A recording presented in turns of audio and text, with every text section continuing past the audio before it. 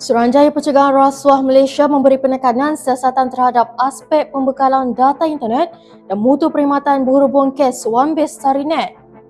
Ketua Pusuruhanjaya SPRM Tan Sri Baki berkata siasatan dijalankan akan melihat kepada pembekalan data terhadap 8,000 sekolah di seluruh negara mengikut spesifikasi kontrak yang telah ditetapkan atau sebaliknya.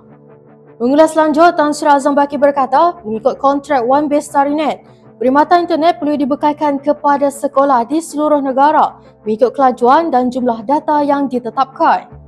Kata beliau, SPRM perlu lihat perkara tersebut kerana di bawah undang-undang sedia ada menjadi satu kesalahan sekiranya sesuatu tuntutan melibatkan perkhidmatan dibuat tetapi ia tidak dibekalkan.